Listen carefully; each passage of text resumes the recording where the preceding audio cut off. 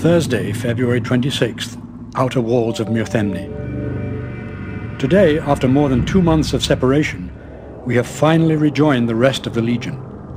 I will not even hazard to guess the thoughts of those who first sighted the mighty trow accompanying our force. After we settled in, Garrick told us of events in the west.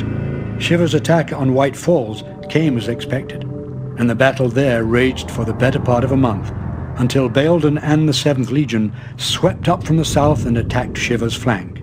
Her army was forced to retreat east toward Willow, and the combined forces under Ulric and Bealdan fell upon her rear guard, destroying it utterly. The victory was short-lived, however, as Shiver returned a week later with an army of Myrkridia.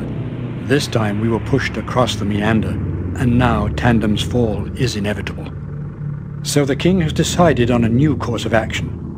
The Legion must capture Muirthemne, though for what purpose we cannot tell, for the city holds no strategic benefits. King Ulric himself plans to be here within the week, and we must capture the city before he arrives. Our scouts have returned from the city proper bearing grim news. The Shade Herod and a great number of Fetch and Myrkridia are occupying the old armory just inside the city walls. Tomorrow we lay siege to Muirthemne with the aid of the Trow and a team of dwarven mortars.